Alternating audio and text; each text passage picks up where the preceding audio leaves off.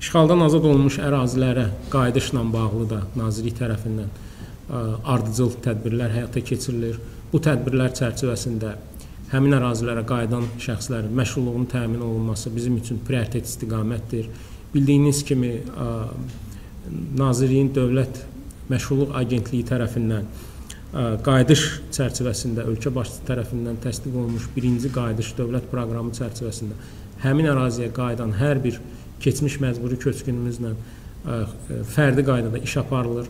Həmin şəxslər həm köçdən əvvəl, həm də köç prosesindən sonra onların məşğulluğu ilə bağlı məsələlər diqqət mərkəzində saxlanılır. Hər bir şəxslə bağlı fərdi məşğulluq proqramı tərtib olunur. Həmçinin onu da qeyd etmək istərdim ki, işğaldan azad olunmuş ərazilərdə işə götürənlərlə səmərəli əməkdaşlığın qurulması təmin olunmuşdur. Vakant iş yerlərinə həmin əraziyə köçürülən şəxslərin işlə təmin olunması həyata keçirilir və 2023-cü il ərzində biz artıq 1100 keçmiş məcburi köçkünümüzün həmin ərazidə demək işlə təmin olunmasını ə, təmin edə bilmişik. Eyni zamanda mən peşə hazırlığı ilə bağlı, həm də işsiz şəxslərin özünə məşğulluq proqramı ilə bağlı danışdım.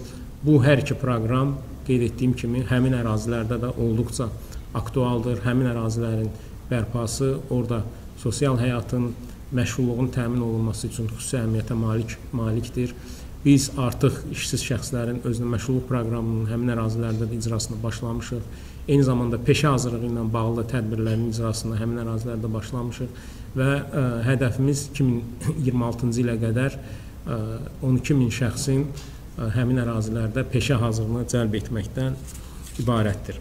Onu da qeyd edim ki, işğaldan azad olmuş ərazilərə ixtisaslı mütəxəssislərimizin cəlb olunması məqsədi ilə bir sıra qanunvericilik aktlarına dəyişiklik edilmişdir. Həmin qanunvericilik aktları 2023-cü ilin yanvarın 1-dən qüvvəyə minmişdir. Burada qeyd etmək istərdim ki, həmin əraziyə köçən mütəxəssislərimizə 600 manat məbləğində bir dəfəlik müavinət təyin olunur.